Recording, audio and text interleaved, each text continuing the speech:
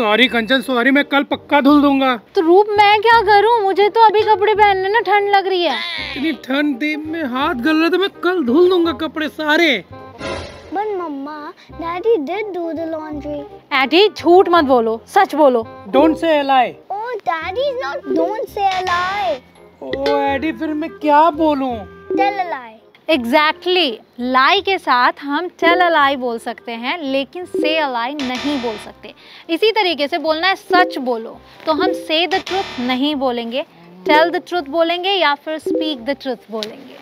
तो क्या हम टिल द लाई बोल सकते हैं? नहीं नहीं। हम द लाई नहीं बोलते अ लाई बोलते हैं और अ ट्रुथ नहीं बोलते द ट्रुथ बोलते हैं। Tell the truth tell a lie अच्छा सच बोलने वालों के क्या बोलेंगे? मतलब सच्चा ट्रुथफुल और झूठ बोलने वाले को? इसकी इंग्लिश आप बताइए पाना है परफेक्शन तो follow Kanchan like subscribe and share.